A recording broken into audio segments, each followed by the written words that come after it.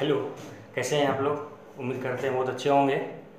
आप लोग का अभी सोल्यूशन जो है प्रैक्टिस से का सोल्यूशन करवा रहे हैं, जिसका पार्ट वन आपको कल दिए थे। उम्मीद करते हैं आप लोग को देखे होंगे और अच्छे अच्छे कॉन्सेप्ट को समझे होंगे। आज का कॉन्सेप्ट जो है, बहुत ही इंपॉर्टेंट क्वेश्चन है और उसके एक एक क्वेश्चन की गहराई को आज देखिएगा, क्योंकि आज का लेवल कुछ ज़्यादा है और लेवल से ज़्यादा अच्छा तरीका आपको आज बताने वाले हैं कि वो सब क्वेश्चन जो है, कैसे शॉर्ट अप्रोच लगाते हैं और क्वेश्चन को सॉल्व करते हैं। आज का एक एक क्वेश्चन बहुत ही यूनिक यूनिक है और सोल्यूशन तो बहुत ही ज़बरदस्त है। आप लोग जिस मेथड से आज तक पढ़े होंगे, उससे भी अलग हटके हैं, बहुत अच्छे अच्छे मेथड से क्वेश्चन को आज सॉल्व कर रहे हैं, जो आप सोचे भी नहीं होंगे। मैक्सिमम रेशियो मेथड के द्वारा हम सारे क्वेश्चन को आज सॉल्व करेंगे। तो ध्यान से आप लोग एक क्वेश्चन को देखिएगा। और कर रहे थे खाए तक, आज क्वेश्चन नंबर उन्नीस से हम आगे बढ़ते हैं। और आप लोग एक बात और वीडियो को लाइक नहीं करते हैं तो वीडियो को लाइक किया कीजिए और शेयर ज़रूर किया कीजिए। नहीं तो क्या होगा, हमारा, अगर हमारा उत्साह नहीं बना रहेगा तो फिर परेशानी तो फिर हम क्लास सही से ले नहीं पाएँगे, ठीक है? तो आप लोग हमारा उत्साह बनाइए वीडियो को लाइक ज़रूर किया कीजिएगा। और जो कुछ जहाँ प्रॉब्लम हो कमेंट कीजिए, उसका उत्तर हम ज़रूर देंगे, कहीं कोई समस्या होगी तो उसको हम दूर करते रहेंगे, ठीक है? तो क्लास स्टार्ट करते हैं आज से हम। क्वेश्चन नंबर अठारह तक हो गया था। क्वेश्चन नंबर उन्नीस से चलते हैं। देखिए क्वेश्चन उन्नीस क्या कर रहा है? देखिए, एक ट्रिक होता है, याद रखिएगा। ईवन एफिशिएंसी से एक्स व्यक्ति एच घंटा प्रतिदिन काम करके टी दिनों में डब्ल्यू काम करता है और ई टू एफिशिएंसी से एक्स टू व्यक्ति टू घंटा प्रतिदिन काम करके टी टू दिनों में डब्ल्यू टू काम करता है तो उसके बीच का रिलेशन ये होता है, इसको आप लोग याद रखिएगा बहुत ही इंपॉर्टेंट रूल आपको लिखा रहे हैं। E1 एफिशिएंसी से X1 व्यक्ति H1 घंटा प्रतिदिन काम करके T1 दिनों में W1 काम करता है, और E2 एफिशिएंसी से X2 व्यक्ति H2 घंटा प्रतिदिन काम करके T2 दिनों में W2 काम करता है, दोनों का रेशियो ये हो जाता है, काम हमेशा नीचे होता है। काम हो, काम का काम चाहे खिलौना बनाने का काम हो, दीवार बनाने का काम हो, खेत जोतने का काम हो, या फिर मजदूरी। काम करेंगे तो मजदूरी मिलेगा, काम के रिस्पेक्ट में मजदूरी तो मजदूरी हो या काम हो हमेशा नीचे होता है, उसको छोड़ करके और कुछ भी कंपोनेंट अगर हो तो वो हमेशा कहाँ होता है? ऊपर होता है। तो उम्मीद करते आपको समझ में आया होगा। देखिए, सवाल क्या कह रहा है? वो अच्छा सवाल है, कह रहा है, पैंतालीस फीमेल अड़तालीस दिनों की मजदूरी। पैंतालीस फीमेल के अड़तालीस दिनों की मजदूरी, वो दिया हुआ है आपको पंद्रह पाँच सौ पच्चीस, पंद्रह हज़ार पाँच सौ पच्चीस रुपया है। और कह रहा है तो कितने पुरुष 16 दिन तक काम करें? कितने पुरुष? मान लीजिए एक्स मेल कि 16 दिन तक काम करें, उसको कितने मिले रुपया? पाँच हज़ार सात सौ पचास मिले। अब देखिए यहाँ पे क्या है? फिर मेल और फीमेल का रिलेशन नहीं है, थोड़ा आगे बढ़ते हैं। फिर सवाल में कह रहा है, एक मेल को, जबकि पुरुष की दैनिक मजदूरी महिला की तुलना में दो गुनी है। ध्यान रखिएगा यहाँ। मेल का तुलना क्या है? फीमेल का दो गुना है। मेल को क्या मिलता है? फीमेल का दो गुना मिलता है। मतलब एक फीमेल बराबर क्या हो गया? मेल बटा टू एक फीमेल का जो क्षमता होगा, वो क्या होगा? मेल का आधा होगा। फीमेल का क्षमता मेल का आधा है। यहाँ सोचिए आप यहाँ। एक फीमेल बराबर एम बटा टू, पैंतालीस फीमेल बराबर क्या होगा? पैंतालीस बटा दो गुना अड़तालीस बटा पंद्रह पच्चीस, पंद्रह पाँच सौ पच्चीस, पंद्रह पाँच सौ पच्चीस बराबर ये एक्स मेल है। तो मेल यहाँ भी है। इच्छा हो तो मेल कर दीजिए यहाँ, कोई दिक्कत नहीं है, क्योंकि मेल में चेंज कर दिए गुना सोलह बटा संतावन पचास। मेल से मेल कैंसिल हो जाएगा आपका। देखिए यहाँ पे सोलह तीन अड़तालीस कैसे हो जाएगा? इसको आप सॉल्व कर लीजिए। सॉल्व करके एक्स बराबर आएगा आपका पच्चीस मेल सॉल्व कर लीजिएगा आप लोग। उतना समय क्योंकि उतना समय है नहीं कि आपको सॉल्व कर पाओगे सॉल्व कर लीजिएगा सोलह तिया अड़तालीस तीन कट गया, फिर दो से काटिए पूरे काटे काटने के लास्ट में आपको एक्स बराबर कितना आएगा? पच्चीस मेल आएगा इस इस इक्वेशन को आप लोग खुद से सॉल्व कर लीजिएगा। सॉल्व करके एक्स बराबर पच्चीस मेल मतलब ये हो गया, कितना व्यक्ति काम करना होगा इसमें? पच्चीस मेल अगर काम करते हैं तो सोलह दिनों में उसको सब मिला के कितना रुपया मिलेगा? संतावन पचास मिलेगा। आगे बढ़ते हैं। देखिए नेक्स्ट क्वेश्चन नंबर बीस, बहुत अच्छा सवाल है। ध्यान देखिए बीस नंबर में क्या कह रहा है? है एक हाउस साधारणतः आठ घंटे में भर जाता है, आठ घंटा में टंकी भर जाता है। लेकिन एक छेद होने के कारण उसे भरने में दो घंटा अधिक लगा मतलब कितना घंटा लग गया? दस घंटा लग गया। अब जान दीजिएगा एल्शियम कितना हैं चालीस दस सौ चालीस जहाँ पाँच घंटे लीटर भरना चाहिए था, वहाँ कितना भराया? मतलब चार भराया। इसका मतलब है, एक घंटा में खाली कितना हुआ? एक लीटर पाँच भराना चाहिए था और चार ही भराया। इसका मतलब है कि खाली कितना हो गया? एक मिनट आपका खाली हो गया। एक मिनट खाली हो गया। पाँच में चार गए। तो टाइमिंग कितना हुआ? दस लीटर भराना है पूरा सॉरी चालीस है। सब मिला के चालीस लीटर भराना है इसको चालीस है। चालीस लीटर पूरा भराना है, इसमें एक लीटर वो छेद जो है, अगर नहीं छेद होता तो एक घंटा में पाँच लीटर भर देता। छेद के कारण एक घंटा में चार भराया मतलब छेद के कारण एक घंटा में कितना निकल गया? एक लीटर। तो चालीस लीटर कितना देर में निकालेगा? चालीस घंटा में। घंटा हो तो घंटा हो मिनट हो तो मिनट। देख लीजिएगा यूनिट क्या दिया हुआ है? घंटा या मिनट में दिया हुआ है यूनिट तो सवाल में दिया हुआ है, घंटा में भर जाता है आंसर हो जाएगा चालीस घंटा ऑप्शन नंबर बी कुछ नहीं आसान सवाल था। आठ दस, आठ आठ घंटा में भरना चाहिए था। दस घंटा लग गया भरने में, जहाँ पाँच भरा था वहाँ चार भराया मतलब एक लीटर, एक घंटा में निकल जाता है, और भराना कितना है? चालीस, अगर एक लीटर, एक घंटा में लीटर निकलता है तो चालीस लीटर कितना देर में निकलेगा? भाग करते हैं, कितना हो जाएगा? चालीस घंटा, आगे बढ़ते हैं। देखिए नेक्स्ट सवाल बहुत अच्छा है। कह रहा है किसी समान गति के तीन बटा चार स्पीड हो गया तीन बटा चार स्पीड तीन बटा चार ऑफ़िस जा रहा था अगर जिस स्पीड से जा रहा था, उसका तीन बटा चार का चूँकि दूरी तो वही है, अपने स्पीड से जाता फिर भी वही दूरी तय करता और स्पीड का तीन बटा चार हुआ तो फिर भी दूरी वही तय करना है। अगर दूरी समान होता है तो आपको पता होगा, अगर दूरी समान हो तो चाल बढ़ाएँगे तो समय कम लगेगा, चाल को घटा देंगे, उसी दूरी को तय करने में समय अधिक लगेगा। मतलब क्या होता है, अगर दूरी कॉन्स्टेंट हो अगर if D is constant constant तो क्या होता है, चाल समानुपाती one by T one by T उल्टा होता है तो चार का इसका मतलब चार का उल्टा क्या? समय का रेशियो क्या होगा? चार बटा तीन, जहाँ तीन घंटा लगता है, वहाँ चार घंटा कितना मिनट लेट हो गया? एक मिनट यही एक आपका कितना मिनट लेट कर रहा है? वो दस मिनट लेट हो रहा है। तो सवाल में ये कह रहा है, बताएँ कि उसका पहुँचने का वास्तविक समय कितना समय? वास्तविक क्या था? जहाँ तीन था, वहाँ चार। ये होता है आपका वास्तविक और ये हुआ आपका नया। वास्तविक तीन तीन का मतलब कितना मिनट? वो दूरी को वो कितना मिनट में तय करता था? तो तीस मिनट में दूरी को वो तय करेगा। याद रखना है, अगर दूरी समान हो तो चार का उल्टा समय चार का और समय का उल्टा चार होता है। इसको हमेशा बेन में रखिएगा आप लोग। और पीछे आपको बताया भी है, पीछे कितने प्रैक्टिस पढ़वाए हैं, वहाँ बताए कि जी, बस डायरेक्ट सब अगर दूरी वही है, चार का चार है, चार को पलट दीजिए, समय बन जाएगा, उल्टा हो जाएगा। और समय जहाँ तीन था, वहाँ एक मिनट लेट हुआ, एक का वैल्यू दस तो तीन का वैल्यू तीस हो जाएगा, आगे बढ़िए। देखिए नीचे कह रहा है, एक रेलगाड़ी किसी खंबे को, पाँच सेकंड में पार खंबे को पार करने का मतलब है खुद की लंबाई को पार करना। तो चार बराबर खंबे को पार करने का मतलब होता है खुद की लंबाई को पार करना और पुल या प्लेटफॉर्म को पार करने का मतलब होता है खुद की लंबाई के साथ साथ पुल की लंबाई को भी पार करना। खंबा को पार किया, मान की लंबाई एल है एल बटा पंद्रह स्पीड ये बन जाएगा इसका। और तो कर है तो 100 मीटर लंबा प्लेटफॉर्म 100 प्लस एल बटा कितना हो जाएगा आपका? 100 बटा एल बराबर कितना होगा? पच्चीस सेकंड में पार कर जाता है, इसको पच्चीस सेकंड में पार करता है। इसको आप सॉल्व करके एल बराबर निकाल जाएँगे एल बराबर कितना सेंटीमीटर है, वो आप यहाँ से निकाल लीजिएगा लेकिन हम ये नहीं बताएँगे आपको। करना क्या है? इस तरीका मतलब सिंपल तरीका लगाइए। सोच में सोच दिमाग लगा रेशो लगाना है। आप ये बताइए हमें कि जब ट्रेन पुल को भी पार कर रहा था तो वही ट्रेन था और खंभे को भी पार कर रहा था तो वही ट्रेन था। इसका मतलब क्या है? ट्रेन का स्पीड वही रहेगा। अगर स्पीड बराबर हो, अगर स्पीड समान हो, दूरी बढ़ाएँगे, समय अधिक लगेगा। दूरी घटाएँगे, समय कम लगेगा। इसका मतलब क्या होगा? जो समय का अनुपात होगा जो समय का अनुपात होगा, वही उसकी दूरी का अनुपात होगा। तो ध्यान दीजिएगा, समय का रेशो कितना है? जब जब पुल को पार, जब खंभा को पार किया तो पंद्रह लगा और प्लेटफॉर्म सहित पार किया तो पच्चीस लगा, इसको ध्यान रखना है बस। पाँच या पंद्रह, पच्चीस पच्चीस। मतलब ये हो जाएगा, अगर समय तीन और पाँच था, इसका मतलब है, उसका जो डिस्टेंस है, वो डिस्टेंस का भी रेशियो क्या होगा? तीन अनुपात पाँच। इसमें क्या है, वो खुद की लंबाई को पार कर रहा है और इस दूरी में क्या है, खुद की लंबाई के साथ साथ किसकी लंबाई है? प्लेटफॉर्म की लंबाई है। खुद की लंबाई अगर तीन है तो खुद बताइएगा। तीन अगर खुद की लंबाई है, बचा हुआ दो, यही क्या होगा आपका? प्लेटफॉर्म की लंबाई होगा। क्योंकि इसमें खंभा को पार कर रहा है, इसमें खंभा सही ट्रेन को पार कर रहा है। अगर खंभे की लंबाई तीन है खंभा सही खंभा सही तो प्लेटफॉर्म सहित खंभे की लंबाई कितना? पाँच हो गया। इसका मतलब ट्रेन की लंबाई तीन है। और समय के पाँच। तीन तो ट्रेन की लंबाई हो जाएगी आपकी। दो क्या होगा आपका? प्लेटफॉर्म की लंबाई। दो आपका सौ है। तो ये आपका एक कितना होगा? पचास हो जाएगा। तो तीन यूनिट यही आपका ट्रेन की लंबाई हो जाएगा। तीन बराबर कितना हो गया? डेढ़ सौ मीटर। देखिए, ये सब चीज़ सीखिए। ये सब तरीका मत कीजिए अब। क्योंकि लेवल थोड़ा हाई हुआ है तो थोड़ा अपने आप को बदलिए। ऐसा करके भी निकाल सकते हैं। कोई बड़ी बात नहीं। निकालना चाहे तो आप यहाँ से उनको आपको निकाल देते हैं। निकाल लीजिए, यहाँ से निकालना चाह रहे हैं। पाँच दिया पंद्रह पचे पच्चीस, पाँच एल ट्वेल्व कितना हो गया? पाँच एल दो एल दो एल बराबर कितना हो गया? तीन सौ, एल बराबर कितना हो गया? डेढ़ सौ मीटर। यहाँ से भी हम निकाल लिए, कोई दिक्कत लेकिन इस तरीका को सीखिए, क्योंकि रेशो तरीका लगाने से आप बड़े से बड़े सवाल को यूँ ही निकाल दीजिएगा। ये था केवल किसको?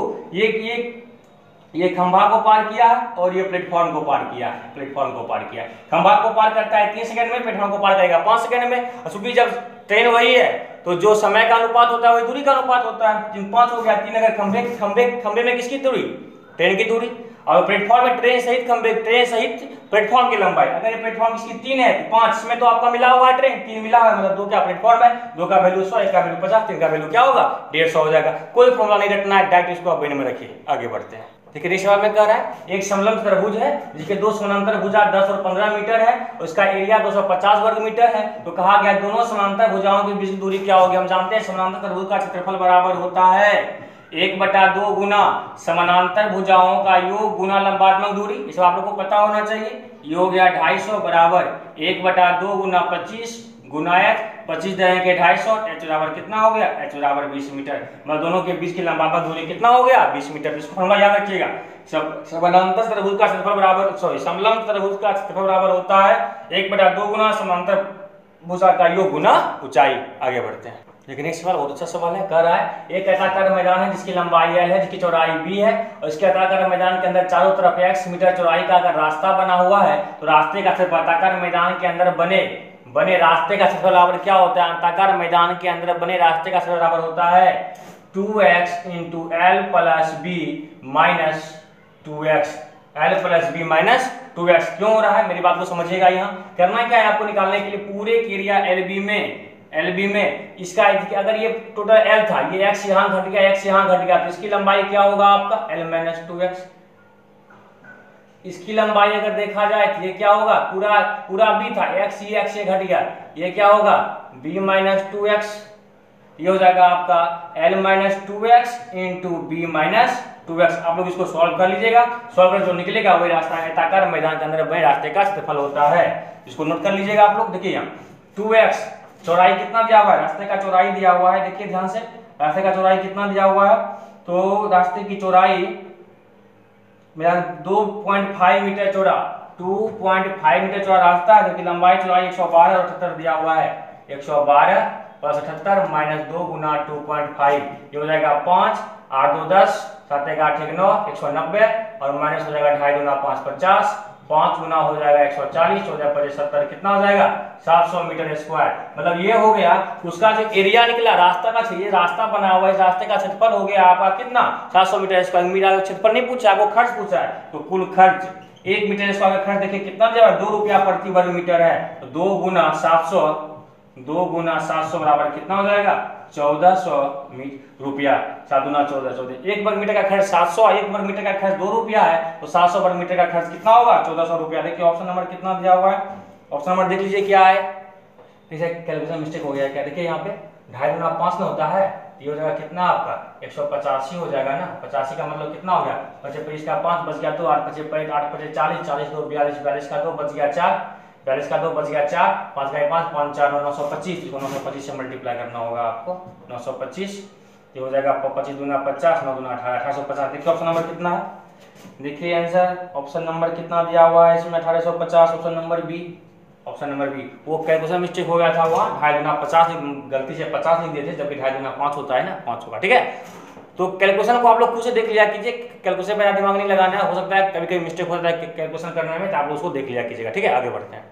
देखिए नेक्स्ट सवाल करा एक बेलन की त्रिज्या दोगुनी ऊंचाई आदि कर दी जाए तो उसके नए आयतन, मूल आयतन के क्या, के मध्य क्या अनुपात होगा?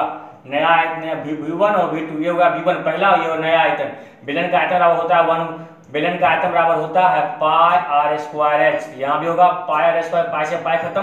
देखिए क्या कर रहा है? बेलन की त्रिज्या को दोगुनी कर दी गई। त्रिज्या को दोगुना कर रहे हैं। ये तो आर स्क्वायर एच है। त्रिज्या को दोगुना करेंगे तो फोर आर स्क्वायर हो जाएगा। और ऊंचाई को क्या कर रहे हैं? ऊंचाई को आधी कर दी जाए। एक बटा दो हो जाएगा ऊंचाई को आधी करेंगे तो आर स्क्वायर स्क्वायर खत्म एस एस खत्म दो ऊपर जाएगा तो एक बटा दो मतलब अनुपात कितना हो जाएगा? दो ऊपर जाएगा तो, तो दो दुना चार दो एक बटा चार दो दुना चार एक बटा दो अनुपात कितने का हो गया? एक अनुपात दो। देखिए ऑप्शन नंबर कितना दिया हुआ है। किसका तो किसा की नए आयतन में मूल आयतन के नए आयतन पहले था तो इस, इस, इसका मतलब उल्टा लिखा गया है। पहले हम पुराना आयतन लिख दिए हैं एक अनुपात दो तो, तो हो जाएगा आपका नया नया आयतन। नया आयतन, अनुपात, मूल आयतन। ये अनुपात कितना होगा? नया आयतन एक का है, और पूछा क्या गया है आपको इसमें? ध्यान से देखिएगा। और मूल आयतन तो पूछा गया नए आयतन में मूल आयतन के अनुपात का अच्छा मूल आयतन। नया आयतन और मूल आयतन। नया आयतन कितना है आपका? नया आयतन दो है और मूल आयतन एक है। दो अनुपात एक ऑप्शन नंबर कितना हो गया? ऑप्शन नंबर डी वो दे दीजिएगा, अनुपात हम सही में देखें। नया आयतन को आपको ऊपर रखना था और मूल आयतन को नीचे रखना, क्योंकि मूल आयतन से पूछा है तो मूल आयतन हमेशा क्या होगा? नीचे होगा। इसलिए निकल गया आपका मूल आयतन और नया आयतन पूछ रहा है नया और मूल दो अनुपात एक हो जाएगा। आगे बढ़िए। देखिए नेक्स्ट सवाल बहुत सवाल है किसी लंब वृत्तीय शंकु की त्रिज्या ऊंचाई बीस परसेंट की वृद्धि कर दी जाए, शंकु का आयतन बराबर क्या होता है? पता होगा आप लोग को? One by three pi R square H. One by three pi तो कॉन्स्टेंट है। त्रिज्या में कितने बार परिवर्तन होगा? दो बार और एच में एक बार। तो त्रिज्या में क्या कह रहा है? दो सब में बीस की वृद्धि कर दी गई। बीस की वृद्धि का मतलब होता है पाँच में एक का वृद्धि, पाँच वाला टर्म छह, पाँच वाला टर्म छह। ऊंचाई में भी यही बात है, पाँच का टर्म छह। पचे, पच्चीस, पचे एक सौ पच्चीस छठा के छत्तीस छठा कितना हो सौ सोलह हो गया। तो क्या पूछा गया? ध्यान से देखिएगा इसको। तो प्रश्न आपको ये कहा तो बताए आयतन में। तो चूँकि आयतन के सौ में पूछा, सौ में करना पड़ेगा इसको। ये कितना से मल्टीप्लाई कर देंगे इसको अगर? आठ से। इसको आठ से मल्टीप्लाई कर देंगे। आठ से मल्टीप्लाई करेंगे, कितना बन जाएगा आपका? एक हज़ार। और आठ से मल्टीप्लाई करेंगे तो कितना हो जाएगा? अच्छा बच गया चार। आठ से काट बच गया चार। आठ आठ से बारह बारह का दो बच गया एक, चार, बच गया दो। बच एक और यहाँ हो जाएगा आठ सोलह, एक, सत्रह। तो वृद्धि कितने का? हज़ार में इतने की वृद्धि। तो सौ में कितने की वृद्धि हो जाएगा आपका? सात सौ अट्ठाईस हो गया तो प्रतिशत वृद्धि बराबर तो हो जाएगा आपका हज़ार में कितने की वृद्धि है? सात सौ अट्ठाईस का वृद्धि। तो सौ में कितने का वृद्धि हो जाएगा? बहत्तर दशमलव आठ परसेंट का। तो सब मिला के आयतन में वृद्धि होगा। वो आयतन में वृद्धि होगा बहत्तर दशमलव आठ परसेंट का। कुछ नहीं करना है। आयतन बराबर one by three pi square होता है। वन बाई थ्री पाई ये तो आपका कॉन्स्टेंट है। आर दो बार एच बार सब में बीस की वृद्धि हुई है। त्रिज्या में भी, ऊंचाई में भी। तीन बार टर्म आया, तीन बार मल्टीप्लाई कर दीजिए। हज़ार में इतना होगा, ऐसे आप चाहते थे, एक सौ पच्चीस भी निकाल सकते थे। चूँकि हम सोचे कि हज़ार में सौ निकालना आसान हो जाएगा, इसलिए हम कर दिए हैं। एक के बाद जो हटाएँगे एक एक के बाद डाल देना है। बहत्तर दशमलव आठ परसेंट आपका उत्तर हो गया, आगे बढ़ते हैं। लेकिन एक सवाल कह रहा है, एक घनाव एक घनाव की भुजा का अनुपात एक, दो, तीन है और उसका total surface area total surface area आपको अठासी सेंटीमीटर स्क्वायर दिया हुआ है। तो कहा गया, उसका आयतन क्या होगा? आयतन पता करना है, पहले में भुजा पता करना पड़ेगा। ध्यान दीजिए क्या करते हैं, हम जानते हैं इसका आयतन बराबर होता है सब घनाव के संपूर्ण पृष्ठीय क्षेत्रफल का आयतन बराबर होता है two into two into L B अगर सबको x मान लेते हैं, ये क्या होगा आपका x, ये क्या होगा आपका 2x और ये कितना होगा आपका 3x एल बी हो जाएगा 2x स्क्वायर तीन दुना सिक्स सिक्स एक्स स्क्वायर तीन का तीन थ्री एक्स स्क्वायर बराबर कितना हो गया आपका अठासी? ये काट दीजिए, ये कितना होगा आपका चौवालीस? ध्यान दीजिए यहाँ, छह तीन नौ नौ दो ग्यारह ग्यारह एक्स स्क्वायर बराबर चौवालीस एक्स बराबर कितना हो गया? तो चौवालीस एक्स बराबर दो। इसका मतलब वॉल्यूम बराबर क्या होगा? वॉल्यूम कितना होगा आपका? सबको मल्टीप्लाई कर देना है। तीन दुना छह सिक्स एक्स क्यू छह गुना दो का क्यू दो चार चार अड़सठ अड़तालीस सेंटीमीटर क्यूब। गुना कर देंगे सबको, वॉल्यूम के लिए सबको गुना कर देना है, तीन दुना छह, और X X six X Q X का मान दो दो एक्स को निकाल दे, कितना हो गया? अड़तालीस सेंटीमीटर क्यू आगे बढ़ते हैं। देखिए नेक्स्ट सवाल, बहुत अच्छा है, कह रहा है, किसी संदूक में एक सौ अस्सी रुपया जो है वो रखा हुआ है, एक रुपया पचास पैसा और पच्चीस पैसा। एक रुपया पचास पैसा और पच्चीस पैसे के सिक्के के रूप में है, जिनका अनुपात दिया हुआ है दो अनुपात, तीन अनुपात, चार में है। ये दो है, ये तीन है और ये चार में है। तो बताएँ कि, देखिए, एक सिक्का का अगर एक नोट होगा तो एक रुपए का, दो नोट है, दो का दो ही रहेगा। पचास पैसे का अगर एक नोट है तो आधा रुपए का, तीन नोट है तो तीन बटा दो रुपए का। पच्चीस पैसे का एक नोट है तो एक बटा चार का होता है, क्योंकि चौथाई भाग होता है। इसका मतलब ये है आपका कि चार होगा तो कितना होगा? चार बटा चार। तो एक बटा चार चार सिक्का मिलने से रुपया बनता है तो पच्चीस पैसे के एक नोट का मूल्य कितना होता है? एक बटा चार रुपया होता है। और यही सब मिला के कितना दिया हुआ है? सब मिला के जो आपको दिया हुआ है वैल्यू कितने का दिया हुआ है? सब मिला के एक सौ अस्सी रुपया इसका दिया हुआ है। चार चार दो एक तीन तीन दूना छह छह तीन नौ। नौ बटा दो बराबर एक सौ अस्सी, नौ दूना अठारह बीस, एक का वैल्यू कितना हो एक का वैल्यू हो गया चालीस। तो पूछा क्या गया सवाल में? तो बताएँ कि पचास पैसे वाला, पचास पैसा वाला कितना है? तीन तीन गुना चालीस बराबर चालीस दिया एक सौ बीस, एक सौ बीस सिक्का पचास पैसे का है। एक सौ बीस सिक्का कितना हो गया? पचास पैसे का हो गया ऑप्शन नंबर सी बस एक रुपया वाला एक नोट चाहिए। पचास पैसा का एक नोट का मूल्य आधा रुपया होता है, तीन नोट का मूल्य दो रुपया होगा। पच्चीस पैसे के एक नोट का मूल्य बटा चार होता है तो चार नोट का मूल्य चार बटा चार, सब मिला के मूल्य कितना दिया हुआ एक सौ अस्सी दिया हुआ है, सब करके निकाल लीजिए। कितना हो गया? ऑप्शन नंबर सी आपका उत्तर हो गया, आगे बढ़ते हैं। देखिए नेक्स्ट सवाल, बहुत अच्छा। है इसको कंटिन्यू फ्रैक्शन के अंतर्गत रखा जाता है। सॉल्व कीजिए, पाँच का पाँच पाँच, चार। नौ बटा पाँच पलट देंगे, इसको क्या बन जाएगा आपका ये? पाँच चार नौ नौ बटा पाँच, इसको पलटेंगे, कितना हो जाएगा? पाँच बटा नौ, तीन से काट देंगे, तीन तिया नौ। तीन से कटेगा, गुना होगा इसमें। एक, तीन का तीन, पाँच पाँच, तीन, आठ। आठ बटा आठ बटा तीन। अब इसको ऊपर ले जाएँगे, कितना बन जाएगा ये? तीन बटा तीन बटा आठ। तीन तिया नौ, कितना हो जाएगा? सॉल्व कीजिए यहाँ। तीन तिया नौ नौ बटा आठ आठ, नौ, आठ, सत्रह। सत्रह बटा आठ। अब ये प्लट के ऊपर जाएगा, कितना हो जाएगा? आठ बटा सत्रह। आठ दुना सोलह, बराबर कितना होगा? वन प्लस सोलह बटा सत्रह मतलब एक पूर्णांक सोलह बटा सत्रह। क्या हो गया आपका?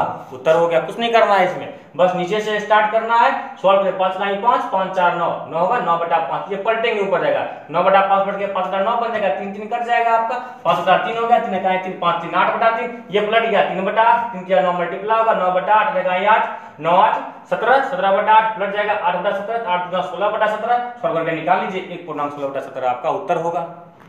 देखिए नेक्स्ट क्या कर रहा है? एक्स का मान वाई से पच्चीस परसेंट कम है। पच्चीस परसेंट कम का मतलब कितना हो गया पैसों का सौ चार में की कमी। पैसों का सौ पच्चीस परसेंट चौड़ा चार। किससे कमी है? एक्स का मान जो है वाई एक्स का मान वाई के मान से। अगर वाई चार है तो उसका मान कम ही है इतना का। इसका मतलब हो गया एक्स बराबर कितना हो गया? एक्स बराबर तीन। तो प्रश्न में करा तो वाई का मान एक्स से कितना अधिक है? तो प्रतिशत अधिक। एक्स से एक्स जब तीन तो वाई चार कितना अधिक है? एक्स का वाई का मान जो है एक्स से कितना? जब तीन तो ये चार। सौ। सब मिला कितना हो जाएगा? तैतीस पूर्णांक एक बटा तीन परसेंट आपका क्या हो गया? उत्तर हो गया। जब वाई का मान चार है तो, तो s का मान से एक का मतलब s का मान तीन है। तो s का मान तीन तो y का मान चार तो s के मान से कितना अधिक है? तीन में एक की वृद्धि सौ में कितने की वृद्धि? छत्तीस पूर्णांक एक बटा तीन परसेंट। देखिए ऑप्शन नंबर जितना भी हो डाल दीजिएगा। देखिए ऑप्शन नंबर कितना दिया हुआ है? ऑप्शन नंबर एक। उम्मीद करते हैं समझ में आया होगा। आगे बढ़ते हैं। देखिए क्वेश्चन नंबर इकतीस क्या कह रहा है? अड़सठ का तीन चौथाई। अड़सठ का अड़सठ का देखिए क्वेश्चन क्या कह रहा है फिर से। देखिए सवाल क्या कह रहा है? देखिए नेक्स्ट क्वेश्चन कह रहा है, अड़सठ का तीन चौथाई, पैंतालीस के दो बटा पाँच से, अड़सठ का तीन चौथाई, पैंतालीस के दो बटा पाँच से कितना अधिक मतलब अंतर निकाल दिए। चार इकाई चार ये कितना होगा? सत्रह चौका अड़सठ, और होगा नौ बच्चे पैंतालीस, सत्रह इक्यावन, नौ दूना अठारह, कितने का अंतर हो जाएगा यहाँ पे? सैंतीस। आठ तीन ग्यारह, तीन, यहाँ बच गया चार चार बचे गया तीन। कितने का? कितना अधिक है? तैतीस अधिक है। देखिए ऑप्शन नंबर कितना है? ऑप्शन नंबर देखिए कितना दिया हुआ है। ऑप्शन नंबर बी आपका उत्तर कुछ नहीं है। कह अड़सठ का तीन, चौथाई, अड़सठ का तीन बटा चार, पैंतालीस के दो बटा तीन तो पैंतालीस का दो बटा तीन, कितना अधिक है? दोनों में अंतर कितने का हो गया? तैतीस का अंतर। आगे बढ़ते हैं। देखिए नेक्स्ट सवाल क्या कह रहा है? एक समद्विबाहु त्रिभुज का समद्विबाहु समकोण त्रिभुज का परिमाप 30 वर्ग तीस सेंटीमीटर है। परिमाप 30 सेंटीमीटर है। कर्ण की लंबाई 13 है तो छोटी भुजा क्या है? देखिए समद्विबाहु समकोण त्रिभुज है। अगर ये x है, कर्ण की लंबाई 13 है। अगर ये x तो ये भी x, ये कितना होगा परिमाप इसका? 2x प्लस तेरह बराबर कितना हो गया? परिमाप चालीस दिया हुआ है इसका। चालीस दिया हुआ है। अगर आ दिए यहाँ पर x बराबर कितना हो जाएगा यहाँ पे? x बराबर हो जाएगा चालीस में तेरह गया आपका, कितना हो जाएगा? तेरह, सत्रह हो जाएगा ना? सत्रह टू एक्स एक्स बराबर कितना होगा? दो अठे सोलह एट पॉइंट फाइव सेंटीमीटर यही पूछा है उसका भुजा भुजा क्या होगा? Eight point five centimetre question question में कुछ टाइपिंग मिस्टेक है। कुछ क्वेश्चन में मिस्टेक है समझौता का परिमाप तैतीस वर्ग सेंटीमीटर है। ऐसा नहीं होना चाहिए था। कुछ डाउट है क्वेश्चन में। समद्विबाहु त्रिभुज का परिमाप आपका कह रहा है? तीस वर्ग। पर परिमाप कभी वर्ग सेंटीमीटर में तो होता नहीं है है कि नहीं है? परिमाप कभी वर्ग सेंटीमीटर में नहीं होता है आपका। और समद्विबाहु त्रिभुज में कर्ण की लंबाई तेरह सेंटीमीटर है तो छोटी भुजा की लंबाई क्या होगी? क्वेश्चन में डाउट है, ठीक है? अगर ये क्वेश्चन ऐसा होता समद्विबाहु समकोण त्रिभुज है तो आपका 8.5 होगा। देखिए एक तो एक तरफ़ का समद्विबाहु त्रिभुज का परिमाप दिया हुआ कर्ण की लंबाई थी कर्ण समद्विबाहु त्रिभुज में कर्ण थोड़ी ना होता है। समद्विबाहु संपूर्ण त्रिभुज होता तो कर्ण समद्विबाहु समकोण तो ये एक्स हो जाएगा, छोटी भुजा के तो बराबर ही होगा आपका एक्स x एक्स अगर बराबर है, अगर परिमाप 40 से अगर दिया हुआ है, मेरी बात समझिएगा, अगर परिमाप 40 दिया हुआ है तो फिर तीनों भुजा का योग 40 होगा टू एक्स बराबर तेरह एक्स एट पॉइंट फाइव होगा। और नहीं, अगर आपका 40 एरिया दिया हुआ है, अगर 40 एरिया दिया हुआ है, फिर भी नहीं होगा, क्यों नहीं होगा? अगर ये समद्विबाहु त्रिभुज का समद्विबाहु समकोण त्रिभुज का एरिया दिया हुआ है, एक बटा दो गुना एक्स गुना एक्स और एक दिया हुआ है आपका चालीस एक्स बराबर तो फिर नहीं निकलेगा फिर तेरह का यूज़ कहाँ है? इसलिए क्वेश्चन अधूरा है क्वेश्चन में अधूरा है, दिमाग नहीं लगाइए। अगर क्वेश्चन ये होता समद्विबाहु समकोण त्रिभुज का परिमाप इतना है उधर उत्तर एट पॉइंट फाइव सेंटीमीटर होगा। दिमाग लगा कुछ मत लगाइए इसका उत्तर होगा। आगे बढ़िए। देखिए नेक्स्ट क्वेश्चन का है, एक कैलकुलेटर का अंकित मूल्य एक है। एमपी दिया हुआ है एक सौ बासठ। और कहा गया, उसको बेचा कितना में गया वस्तु को? 135 में बेचा गया। कितने का डिस्काउंट दिया गया? सात पाँच बारह, यहाँ बच गया कितना आपका? पाँच पाँच सत्ताईस का डिस्काउंट दिया गया। तो परसेंटेज डिस्काउंट ये पूछा गया है। कितने परसेंट का डिस्काउंट हुआ? डिस्काउंट हमेशा एमपी पर होता है। एक सौ बासठ में सत्ताईस का डिस्काउंट तो सौ पर कितने का डिस्काउंट है? आपको पता करना है। देखिए यहाँ कट रहा है, छह दुना बारह, छह बार में खत्म। तीन दुना छह, दो से दो तिया छह, दो से पचास। पचास मतलब कितना होगा? पचास बटा तीन मतलब सोलह सोलह पूर्णांक दो बटा तीन परसेंट। डिस्काउंट कितने का मिला? सोलह पूर्णांक दो बटा तीन परसेंट का डिस्काउंट मिला। देखिए ऑप्शन नंबर कितना है? ऑप्शन नंबर बी आपका क्या हो गया? उत्तर हो गया। उम्मीद करते समझ में आया होगा। एक सौ बासठ रुपया एमपी था। एक सौ पैंतीस में बेचा गया। डिस्काउंट सत्ताईस का मिला। मतलब एक सौ सड़सठ पे सत्ताईस का डिस्काउंट तो सौ पे कितने का डिस्काउंट उत्तर कितना हो गया? सोलह पूर्णांक दो बटा तीन परसेंट। आगे बढ़िए। ये क्वेश्चन है, बहुत आसान क्वेश्चन करा zero point zero three percent का वैल्यू क्या होगा? जो कि zero point zero three percent को करेंगे तो बटा सौ, और पचास सौ, और इसको भी हटाएँगे तो कितना होगा? तीन बटा सौ तो रहेगा ही। इसका भी दो ज़ीरो नीचे आएगा ना? तीन बटा कितना हो जाएगा आपका? एक लाख।